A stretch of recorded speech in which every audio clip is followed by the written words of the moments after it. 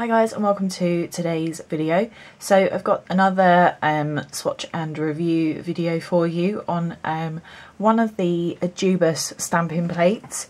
So Ejiubas sent me um, one of these new stamping plates and there is only one plate in this pack but as usual it is double-sided so you're still sort of getting quite a lot for your money. So this one is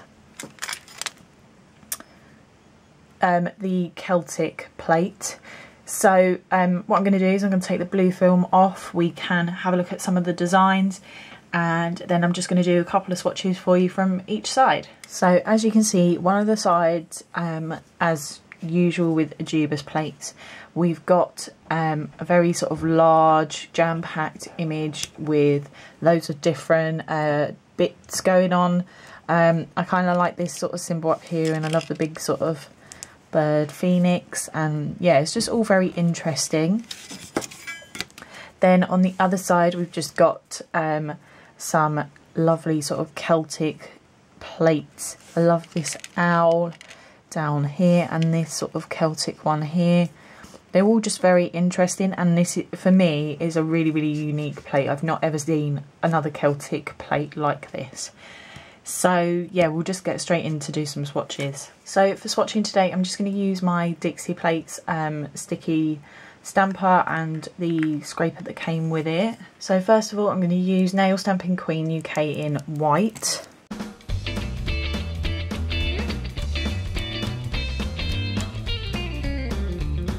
So I've done it a bit off centre there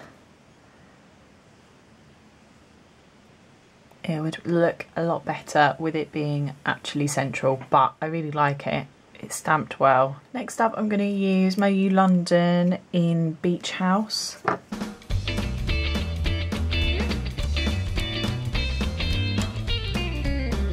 So again that's stamped really well. Probably would look better if I'd done it a bit more um, central but I like the design of that. It looks really unique so next up I'm going to use Hit the Bottle in Spun Gold.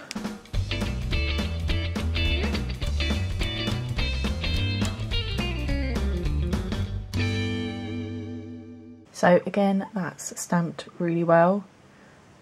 I actually really like that all together.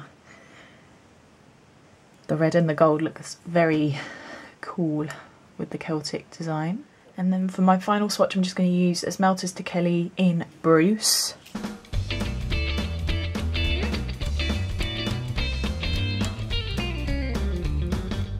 And again, that's stamped really well and I absolutely love that design and I actually really like the greens together. So, and there you have the four swatches. Um, I really, really like this plate. It's very, very, very unique. I've not seen a plate that's got these type of Im images on it before. And the thing with Ejiubas is, is they're always really, really easy to stamp with. They're very, very well etched. Um, and they do ha generally have really unique designs as well. Um, I've done quite a few um, swatch and reviews for them because I, I mean, I really, really like using their plates. They're fantastic. I'll leave all of the links down below for where you can get this plate from. I'll also leave links down below for my previous Ejiubas um, stamping videos. I hope that you like this video, guys. Please like and subscribe for future videos, and I'll see you all again soon. Bye.